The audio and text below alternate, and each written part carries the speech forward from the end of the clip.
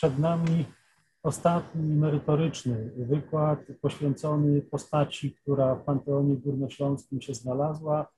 Dotykamy jeszcze innej sfery aktywności górnośląskiej, e, dotykamy społeczności żydowskiej. E, mam przyjemność przedstawić prelegentkę, panią profesor Halinę Dudałę, związaną dziś z Uniwersytetem Pedagogicznym imienia Komisji Edukacji Narodowej w Krakowie, ale związanej bardzo mocno z Górnym Śląskiem, co warto myślę w tym miejscu przypomnieć. Pani profesor oddaje głos i bardzo proszę o przedstawienie. Dziękuję bardzo. Dzień dobry Państwu. Y, bardzo dziękuję za zaproszenie do wystąpienia. Uważam y, jednak, że jest to też y, pewnego rodzaju no mój chyba obowiązek jako osoby, która e, pisała biogram Jakoba Kona, rabina Jakoba Kona na, do, do, do, do leksykonu inicjującego właściwie, jak rozumiem, e, całą, e, całe, całe przedsięwzięcie Panteonu Górnośląskiego. Rabin Jakob Kon, szkic do biografii, tak pozwoliłam sobie zatytułować moje wystąpienie, mając pełną świadomość, że to, co możemy cały czas powiedzieć o doktorze Jakobie Konie, to będzie jakiś rodzaj, drodzy Państwo, szkicu w stosunku do wyników kwerendy przeprowadzonej prowadzonej e, przeze mnie przed e, nieco ponad e, no, półtorej rokiem. E, a której celem było właśnie stworzenie e, biogramu, e, mój, mój zasób informacji, ale także no, zasób źródeł, które udało się odnaleźć, się powiększył. Także zaprezentuję Państwu także pewne nowe ustalenia, może nie jakieś, o, że tak powiem, o, obalające wszystko to, co napisane w biogramie, oczywiście, że nie. Tym niemniej są to pewne nowe ustalenia, które wskazują, że cały czas poruszamy się pewnym, po pewnym szkicu do biografii, a jednocześnie chciałabym powiedzieć, drodzy Państwo, już przechodząc do kolejnego slajdu, mm, że y, zajmowanie się czy podążanie szlakiem rabina Jakoba Kona jest zarazem podążaniem e, szlakiem historii katowickich Żydów. E, myślę, że nie, bez, y, nie, nie, nie, nie jest to przesadne sformułowanie, co mam nadzieję uda mi się Państwu pokazać, ale jednocześnie jest to też jakieś takie wyrażenie z mojej strony wielkiej e, potrzeby i niedosytu, jeżeli chodzi o e, mm, ukazanie, upamiętnienie e, także obecności Żydów katowickich w momencie tworzenia miasta, powstawania miasta Katowice, później budowania miasta Katowice. Mam cały czas wrażenie takiego ogromnego niedosytu, a im bardziej zagłębiam się w biografię właśnie rabina Jakoba Kona, tym tym ten niedosyt wydaje mi się coraz bardziej uzasadniony. E, drodzy Państwo, jedyne zdjęcie, które udało mi się w przepastnych zasobach internetowych odnaleźć i ono również zostało w leksykonie wykorzystane, to jest właśnie to, to zdjęcie rabina Jakoba Kona, który zapewne znajduje się w swoim katowickim mm, e, mieszkaniu. E, nad nim wisi portret, ważny portret, do którego za chwileczkę się jeszcze odniosę. Dokonałam identyfikacji tej osoby, która znajduje się na portrecie. Mogę tylko żałować, że nie jest jesteśmy w stanie dokładnie zbadać, jaki dyplom e, e, wisi tutaj, e, zapewne te inne zdjęcia zawieszone na ścianie nad biurkiem rabina Kona to członkowie jego rodziny, może przyjaciele. Chciałam też, żebyście Państwo zerknęli tutaj na to, jak wyglądał podpis doktora Jakoba Kona z roku 1876, złożony w Urzędzie Stanu Cywilnego w momencie zgłaszania narodzin kolejnego swojego dziecka. Tutaj mamy tłok pieczęci rabina Jakoba Kona.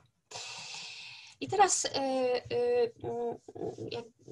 próba czy wskazanie Państwu na bardzo ważny element, który mm, od razu nam jak gdyby wyjaśni e, mm, może bardziej nawet biografię kulturową rabina Jakoba Kona. Kim jest sportretowany mężczyzna, e, mężczyzna na portrecie wiszącym ponad e, biurkiem rabina Jakoba Kona. Nie jest to dziadek jak rabina Kona, nie jest to nikt inny z jego rodziny. Jest to, proszę Państwa, dr Azriel Hildesheimer, e, niemiecki rabin, ale także przywódca ortodoksyjnego judaizmu. Jest ponadto uważany za pionierskiego modernizatora judaizmu ortodoksyjnego w Niemczech, a także za założyciela nowoczesnego judaizmu ortodoksyjnego. Ten judaizm ortodoksyjny, żeby tak szybciutko wyjaśnić, bo to będzie nam lokowało sylwetkę rabina Kona i wszystkie jego dokonania także w gminie katowickiej e, judaizm y, ortodoksyjny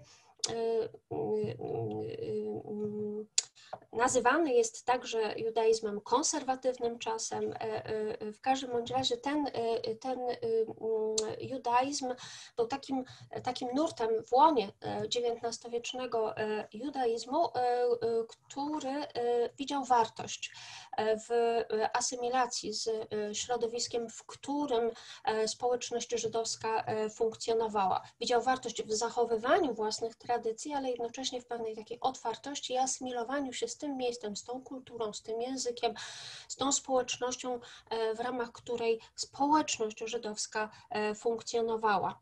I wszystko, proszę Państwa, wskazuje na to, że właśnie rabin Jakub Kohn e, reprezentował światopoglądowo właśnie ten nurt ortodoksyjny. Świadczy o tym, za chwileczkę powiem, wykształcenie rabiniczne, jakie otrzymał, jak i cała późniejsza jego działalność, zwłaszcza działalność stowarzyszeniowa. Ale wracając jeszcze do Azriela Hildesheimera, drodzy Państwo, mm, e, e, warto też wskazać, że w 1873 roku e, Azriel Hildesheimer założył w Berlinie seminarium rabinackie. I co ciekawe, rabin katowicki Jakob Kohn był członkiem kuratorium tegoż seminarium, a zatem miał wpływ na pewne działania programowe tej właśnie szkoły. E, szkoły wyższej. E, w trakcie wykonywania kwerendy w e, zasobie Centrum Judaikum, no synagogy Stiftung w Berlinie, w której znajdują się, znajduje się spuścizna Jakoba Kona, odkryłam bardzo bogatą korespondencję nie tylko z samym Azrielem Hildesheimerem, ale także z jednym z jego synów, doktorem Hirschem Hildesheimerem, docentem żydowskiego seminarium teologicznego w Berlinie. Obydwie rodziny Hildesheimerów, seniorów i i, właśnie Hildesheimera e, Hirscha i rodzina Konów, ta katowicka, one wzajemnie ze sobą utrzymywały bardzo e, częste mm, kontakty e, mm, listowne, ale też te rodziny się wzajemnie odwiedzały, czego właśnie ślad mamy pozostawiony piękny w korespondencji. Mm, gdybyśmy drodzy Państwo, jeszcze próbowali szukać takiego pierwszego momentu poza, e, e, poza tym 73 e, rokiem, kiedy Kon jest już w kuratorium seminarium rabinackiego w Berlinie, to trzeba by jeszcze wskazać, że te, te wcześniejsze kontakty pojawiają się już na, na, na wcześniejszych etapach życia doktora Jakoba Kona i dlatego pozwolę sobie tutaj Państwu w ogromnym skrócie pokazać biografię w datach, tak, ażeby zobaczyć rabina Jakona, Jakoba Kona od momentu narodzin aż po jego śmierć, a ja tylko szybciutko dopowiem, że y, urodzony w Altonie, dzisiaj to jest dzielnica Ham, Hamburga, był synem y, kupca mm, Arona Kona i y, Sofii z domu Weinstein. Uczęszczał do gimnazjum mm, Christianeum w Altonie, to jest nobliwe z taką metryką XVIII-wieczną, pierwsza połowa XVIII wieku gimnazjum w Altonie, znakomite po dzień dzisiejszy e, istniejące, e, a także do szkoły talmudycznej, czyli jesziwy, prowadzonej w Altonie przez Jakoba Ettlingera, naczelnego rabina Szlezwiku Holsztyna, jednego właśnie z liderów nurtu współczesnej ortodoksji w judaizmie. W latach 64-60, właściwie 7, jeszcze mm, uczęszczał do berlińskiej szkoły talmudycznej, takiej, która jakby poprzedzała istnienie tego seminarium rabinackiego powołanego przez Hildesheimera w roku 1873 i to było właściwie e, zasadnicze wykształcenie rabiniczne e, e, doktora Jakoba, Jakoba Kona. Drodzy Państwo, studia filozoficzne mm, na Uniwersytecie Fryderyka Wilhelma w Berlinie, ale promocja doktorska na Uniwersytecie w Halle w roku 1860 67. Później, i tutaj Państwo już widzą, pojawia się Azriel Hildesheimer w Eisen, Eisenstadt, Kiszmarton, dzisiaj oczywiście jest to wschodnia Austria, wcześniej Kiszmarton. Był uczniem, a także właśnie nauczycielem w Jeszywie prowadzonej przez Azriela Hildesheimera, czyli gdybyśmy tak policzyli, to rabin Jakob Kohn a w sposób taki w pełni udokumentowany styka się z Hildesheimerem jako 24-letni młody e, mężczyzna przygotowywujący się do e, swojej pracy jako duchowny e, żydowski. I tutaj kolejne mm, daty, takie właściwie ubierające nam w jakąś całość. Życiorys rabina Kona to oczywiście długi okres 1872-14 rabin gminy wyznaniowej w Katowicach, śmierć w Zabrzu w szpitalu Augusty Wiktorii 23 kwietnia i pochówek na naszym, naszym bo w Katowicach cmentarzu na Gartenstrasse, dzisiaj Kozielskiej, 26 kwietnia 1916 e, e, e, roku. A żebyśmy jeszcze na chwileczkę, drodzy Państwo, pozostali przy tym, co udało się ustalić w oparciu o zachowane materiały archiwalne Księgi Urzędów Stanu Cywilnego, to chciałam Państwu właśnie tutaj pokazać fragment tablicy genealogicznej, korzenie, rodzina. Mamy y, rabina Jakoba Arona Kona. Z dużą radością tutaj dopisałam Aaron.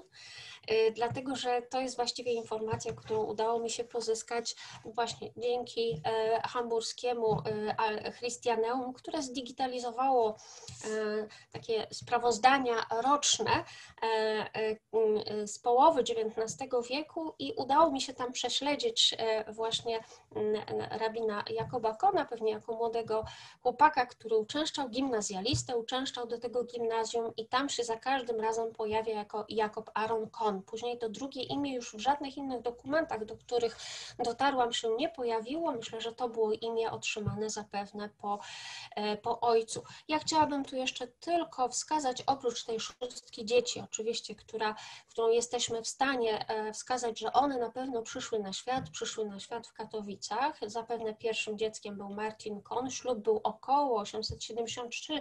Jak wiemy, urzędy stanu cywilnego powstały w roku 1874 zatem mm, mm, mm, nie jesteśmy w stanie tutaj wskazać na e, dzienną datę zawarcia tego ślubu odzwierciedloną w akcie Urzędu Stanu Cywilnego, ale chciałam tutaj wskazać króciutko na e, Naftalego Koena, bo to z kolei był bratanek Jakoba Kona, e, który również wybrał taką ścieżkę życia podobną, właściwie niemalże tożsamą do swojego wujka. Jakoba Kona, był rabinem, a wcześniej również absolwentem gimnazjum Christianeum, e, studiującym w Berlinie, doktoryzującym się e, w, na Uniwersytecie w Halle e, i, i, i to, to, to, to jest rzeczywiście taka, taka rzecz, na którą myślę, że warto zwrócić uwagę. Kolejny rabin w tej rodzinie.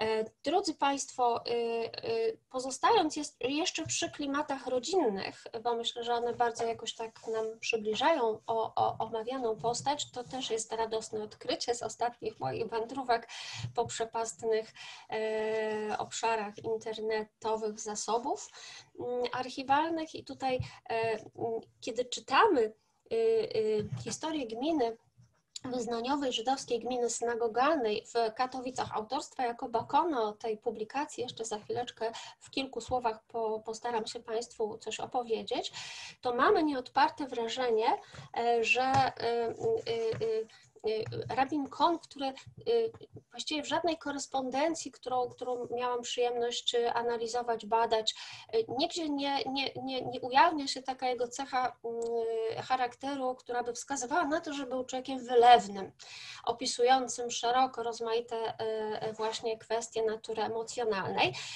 Tym niemniej, drodzy Państwo, kiedy po raz pierwszy czytałam historię gminy wyznaniowej w Katowicach, to przy takim mikroparagrafie paragrafie poświęconym, małym paragrafie poświęconym cmentarzowi, mamy takie zdanie ostatnie, bardzo moim zdaniem znamienne. Otóż rabin Kohn pisze, niejedne oczy ze łzami spoglądają w stronę cmentarza, gdzie po ziemskiej wędrówce spoczywają, odpoczywają ukochani i drodzy ich sercu. I ja mam wrażenie, że on pisał o swojej żonie, może nie tylko, może także o przyjaciołach z Katowic pochowanych na tym cmentarzu działających e, w gminie, ale na pewno pisał o swojej żonie, w listach nie nazywa ją nigdy Ernestyną, tylko Tiną. E, żona Jakoba Kona zmarła młodo, miała 42 lata, jeśli dobrze liczę, w roku 1896 i właśnie na tym cmentarzu na Kozielskiej dzisiaj została e, pochowana, a tutaj to zdjęcie niezbyt dobrej jakości, ale e, prezentuje kamienicę przy Grundmannstrasse 34. To jest kamienica, w której mieszkał rabin Kohn ze swoją rodziną. I tutaj już, żeby domknąć takie informacje biograficzne, drodzy Państwo, Chciałabym e, mm, y, y, mm, jeszcze pokazać Państwu zdjęcie z nagrobkami Ernestiny i Jakoba Konów na cmentarzu właśnie na Kozielskiej. Te nagrobki szczęśliwie się zachowały, a tutaj, drodzy Państwo, pozwoliłam sobie zamieścić e, fragment e, z Zeitung, Allgemeine Zeitung des Judentums, gdzie ukazał się, to nie była jedyna gazeta, w której po śmierci rabina Kona ukazał się jego nekrolog, ale ten nekrolog jest o tyle interesujący, że pozwala nam pewne dane biograficzne, już związane bardziej z dziećmi rabina Jakoba Kona, e, sobie e, uzupełnić.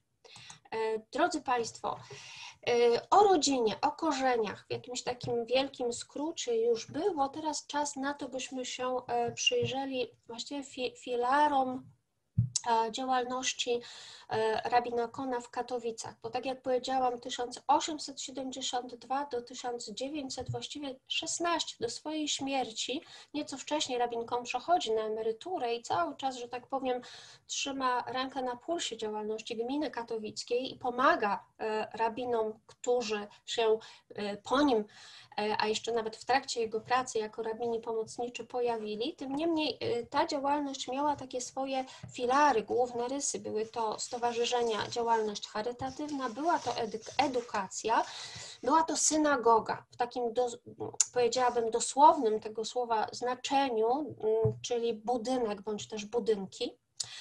E, bo przecież to nie jedna synagoga, e, ale ku mojemu zaskoczeniu, i to też jest taka nowa rzecz, którą udało się ustalić, także pewna działalność po polityczna. I bardzo ważny nurt również działalność filantropijna. Więc drodzy Państwo, gdybyśmy próbowali w krótkim czasie, już widzę Pana Profesora, więc wiem, że trzeba bardzo skracać, więc będę szybciutko teraz przebiegała, chyba nawet nie mówiąc wszystkiego, mając nadzieję, że może ktoś z Państwa zechce te dane dla siebie wykorzystać wykorzystać, gdybyśmy przy tak bogatej biografii, bogatej działalności stowarzyszeniowej próbowali o tym wszystkim powiedzieć, to jest no, niemalże to niemożliwe. Spójrzcie Państwo, zarówno nauczyciel religii mojżeszowej w roku 1876 Rabin Kon jest inicjatorem założenia prywatnej szkoły żydowskiej w Katowicach. Jest także bardzo intensywnie działającym członkiem Stowarzyszenia Żydowskich Nauczycieli na Śląsku i w Poznaniu. Działalność w gminie to oczywiście statuty kolejne, pierwszy i kolejny, a także bardzo ważna e, działalność e, w Stowarzyszeniu Tradycyjnych Rabinów Niemieckich. Odsyłam do tych moich uwag, które pozwoliłam sobie a propos rabina Hildesheimera z Riela poczynić na e, początku. Tu już zmuszona będę to chyba bardzo szybciutko przebiec, ale chciałabym tylko zwrócić uwagę na to, że właściwie wszystko to, co najważniejszego dzieje się w życiu gminy wyznaniowej żydowskiej w Katowicach, w zasadzie wiąże się z y, rabinem Konem. Zatrudnienie w 71, poświęcenie, poświęcenie powiększonej synagogi, konferencja przedstawicieli ruchu miłośników Syjonu w 84 roku, ale wobec tej konferencji, wobec samego ruchu syjonistycznego Rabin Kon miał takie stanowisko mocno zachowawcze. 900 rok to konsekracja Wielkiej Synagogi. E, w, e, w tych latach 901-12 towarzyszył mu rabin pomocniczy dr Dawid Braunschweiger, W 14 roku zostaje zatrudniony kolejny rabin Filip de Haas. I tutaj już jak gdyby wybiegając w czasie, tylko próbowałam domknąć to wskazując na datę zniszczenia Wielkiej Synagogi.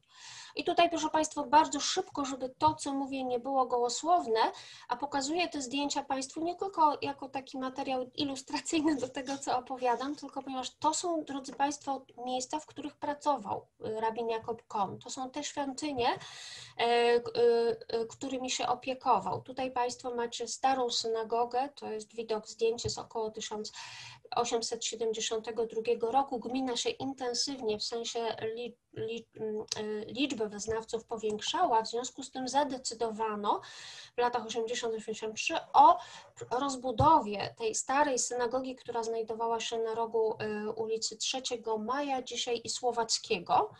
E, tutaj jest pocztówka, a tutaj fotografia tej właśnie starej synagogi, znaczy starej, ale po rozbudowie, a tutaj proszę Państwa to, co było absolutną perełką, y, nie waham się powiedzieć, jeśli chodzi o architekturę Katowic y, i, i, i klimat miasta to jest właśnie wielka synagoga, która została konsekrowana w roku 1900, była rzeczywiście nazywana wielką albo główną z naprawdę imponującą liczbą miejsc dla osób w niej zgromadzonych i to z powodu tej synagogi, tutaj jeszcze macie Państwo taką ładną kolorową pocztówkę, i jeszcze odwołam się do tekstu e, Geschichte der Synagogengemeinde. Rabin Kohn pięknie napisał, wspaniała, przepiękna pod względem architektonicznym budowla na chwałę Bożą, dla dobra religijnego gminy i dla ozdoby miasta. Tu jeszcze jedno zdjęcie, które udało mi się znaleźć, wnętrze Wielkiej e, Synagogi. E, a tutaj, drodzy Państwo, już dochodząc do działalności politycznej rabina Kona, E, pojawiają się Państwu znowu trzy synagogi i z tego powodu, nawet jeśli kiepska jest jakość tej pocztówki, to warto, żeby na tą pocztówkę jeszcze raz sobie popatrzeć, ale ta pocztówka została wydana z bardzo ciekawej, z powodu bardzo ciekawej okoliczności, a mianowicie e, z powodu konferencji, która odbyła się w Katowicach e, w maju 1912 roku, a na skutek której doszło do powołania, do istnienia partii Agudat Izrael. To z inicjatywą, z inicjatywą powołania tej partii wystąpili właśnie neoortodoksi niemieccy. To już nas nie dziwi ta, ten, ten, ten związek, ale y, y, y, co ciekawe, właśnie wśród założycieli partii, która o ile się nie mylę, istnieje po dzień dzisiejszy, Agudas Izrael, był również rabin Jakob, Jakob Kohn, drodzy Państwo. E, I e, ostatnia rzecz, e, już kończę Panie Profesorze, żeby nie przedłużać absolutnie, a mianowicie Geschichte der Synagogengemeinde Katowice-Oberschlesien. To jest publikacja autorstwa rabina Kona, którą on napisał z pełną świadomością, że nie jest historykiem, nie ma warsztatu historycznego i nie należy traktować tej Geschichte jako historii tak naprawdę gminy wyznaniowej żydowskiej, ale z drugiej strony, proszę Państwa, jest ona absolutnie dla historyków bezcenna, dlatego że mm, Rabin Kohn bazował na takich źródłach archiwalnych, z których nie wszystkie nawet w Berlinie, w Centrum Judaikum się zachowały. W związku z tym myślę, że należałoby tą Geschichte raczej czytać jak pewne takie sprawozdanie połączone z bardzo cenną kroniką i co dla nas dzisiaj próbujących zobaczyć wkład rabina Kona społeczności żydowskiej w historię miasta, taką, ja bym najchętniej naprawdę powiedziała, kulturową historię miasta, co bardzo ważne, Rabin Kohn sam wskazuje na trzy nurty działalności katowickich Żydów, na właśnie synagogę, na oświatę i na stowarzyszenia a jednocześnie, drodzy Państwo, i synagoga, i oświata, i stowarzyszenia były filarami jego osobistej, wieloletniej służby, tak dla współwyznawców, jak i po prostu dla mieszkańców Katowic. Ja tylko dodam, że rabin Kohn był przewodniczącym Katowickiego Stowarzyszenia e, Opieki nad Zwierzętami o czym mało, mało może się, mało się mówi. A w zakończeniu, drodzy Państwo, ostatnie zdanie. Myślę, że historykom Katowic, Śląska i nie tylko pewnie dobrze znany cytat z e, wspomnień wychowanego w Katowicach niemieckiego dziennikarza Antona e, Oskara Klausmana, który po latach opisując swoją młodość i dzieciństwo w Katowicach w, znamiennych słowach, chciałoby się powiedzieć, e, mm, wyraził się na temat cotygodniowych rozgrywek w szkata prowadzonych w hotelu Winera przez, i tutaj cytuję, protestanckiego pastora, katolickiego księdza i żydowskiego rabina, miał na uwadze Kona, którzy zwracali się do siebie zawsze per panie bracie na urzędzie. Ja myślę, to koniec cytatu, że drodzy Państwo, to była taka praktyczna e, lekcja szacunku pomiędzy tymi trzema wyznaniami, które w Katowicach były bardzo silnie reprezentowane E, co więcej, takiego szacunku, który w sposób naturalny z racji oświatowej działalności rabina Kona, jako nauczyciela właściwie we wszystkich szkołach katowickich, przenosił się na korytarze szkolne, ponieważ możemy sobie tylko wyobrazić, jeśli oni w hotelu Winera, grając w szkata, odzywali się do siebie z szacunkiem wielkim, e, że pewnie z takim samym szacunkiem odnosili się do siebie, mijając się w korytarzu, na przykład gimnazjum katowickiego, czyli młodzież rozmaitych wyznań, bądź bez wyznania. No i taka była, która widziała taką sytuację, odbierała taką bardzo praktyczną e, i bardzo mądrą lekcję wzajemnego szacunku, a dzisiaj pewnie powiedzielibyśmy też e, coś w rodzaju ekumenizmu. Bardzo Państwu dziękuję.